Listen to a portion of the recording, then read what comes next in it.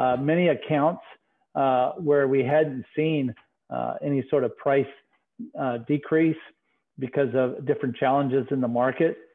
We were able to have buyers go back and use those techniques and actually get a price decrease and still maintain that relationship. And once once others saw that happen in accounts that that hadn't had that impact, then it all opened up. It's like, okay, th- this means anything's possible. And I think we started to see people go in, our buyers uh, be much more uh, uh, assertive and feel uh, empowered to be able to go after more and still maintain those supplier relationships.